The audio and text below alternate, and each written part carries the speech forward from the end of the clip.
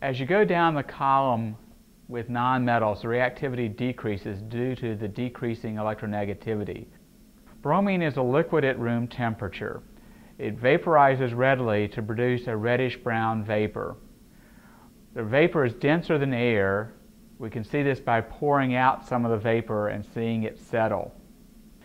As since the bromine is less reactive than chlorine, we can use a little bit more reactive metal. We'll react the bromine with some aluminum in the form of aluminum foil.